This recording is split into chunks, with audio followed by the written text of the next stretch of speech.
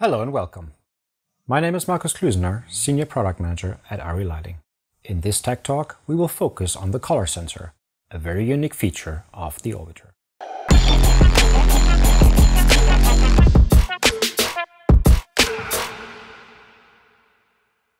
The built-in color sensor of the Orbiter will measure the ambient light surrounding the fixture and reproduce the color with great accuracy. There are two measurement types, continuous and momentary. Continuous will constantly measure the ambient color and update the light output accordingly.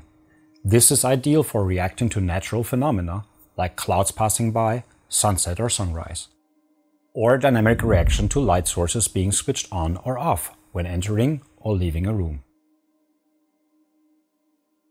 Momentary will only take one measurement of the ambient color with the press of a button and the orbiter will keep outputting that specific color until told otherwise. The XY coordinates of the measurement can be retrieved and exported for use with lighting consoles and other lights.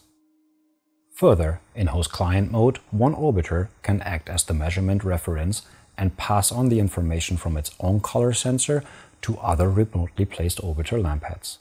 The color sensor mode is perfect in situations where the light is changing, the orbiter can automatically adjust for color changes without any interaction. So there you have it, the color sensor mode. One of the many unique features of the industry's most versatile lamphead.